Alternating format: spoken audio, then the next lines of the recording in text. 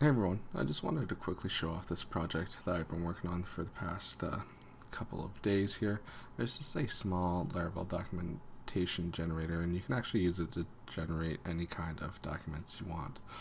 But the one thing I wanted to model it after was the Laravel docs itself. So for instance, uh, if we look at the Laravel documentation, you can see that everything is kind of neatly organized here and then you have a whole bunch of different things you can do as well as change the different versions and stuff like this.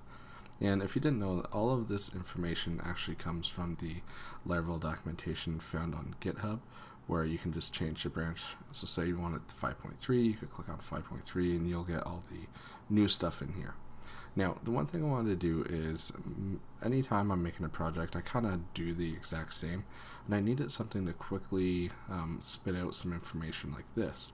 So what I've created is this small little Laravel project that will allow me to connect to GitHub and pull in the markdown files and just kind of create a list here. Now the list isn't ordered or anything, but let's take a quick look here. So what I can do is I can just run this artisan document generate function and the repo that I've forked is docs. So you can see I've just forked it here. And I'm going to pull in the 5.3 branch. So if I do this I'll just let this go through and you can see it's connecting and pulling in all the information now while that's going on, because I have everything set up, I can just quickly do a refresh. And I can see now on the left hand side I have all this information. So I can click on authentication.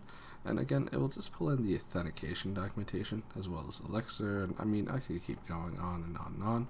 But if I go down to upgrade you can see that it is definitely the 5.3 now what I'm able to do is I can say you know what? I also want to pull in the 5.2 branch so I can let that go. And once that finishes, you'll notice up here on the right hand side, currently the version is 5.3. If I give this a refresh, well now we can see that we have 5.2 and 5.3.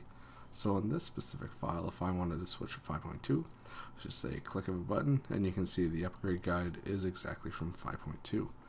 Now the one thing it also covers is if you have a folder in here, you're actually able to go into that folder and pull the markdown files out as well. But I just wanted to show this and I think it's pretty neat and hopefully uh, you guys will too. Thanks.